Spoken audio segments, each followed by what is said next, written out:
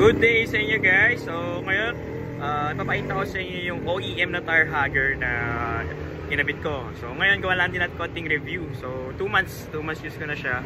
Uh, binili ko siya sa Shopee yung hugger euro yung tig sa 700 plus eh. Pero ngayon nasa 1.5 na siya tumaas yung presyo niya kasi siguro medyo na hype din gawa ng mga naka Indo concept na nagbi-build ngayon buti nung time na yun medyo mura pa. 700 pa lang siya. Noon ngayon nasa 1.5 na. Laki na ng tirash niya. Halos kalahati. Eh, halos times 2 pa na ng price niya. Ngayon ipakita ko sa inyo yung tire hugger na yun yung OEM Ah, yan. Yan siya. oh. iba yan. So walang kagalaw-galaw yan. Tapos ito yung pinakang reserva niya na coolant so ang maganda dito siya kaya siya matibay. So pasok siya hanggang sa loob tatanggalin yung lumang tire hugger na nakakabit.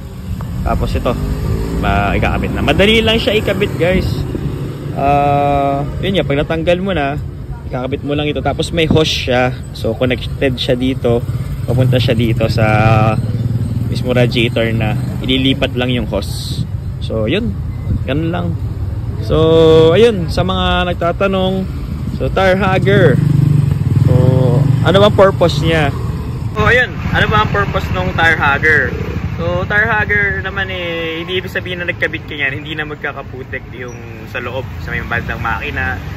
Kumbaga yung tire hugger para ma-lessen lang yung dumi yung mga putik na pumapasok sa may loob na medyo mahirap linisin.